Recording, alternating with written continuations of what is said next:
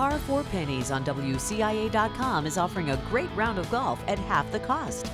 This week's featured course is Harrison Park Golf Course in Danville. Tuesdays at 11 on WCIA.com.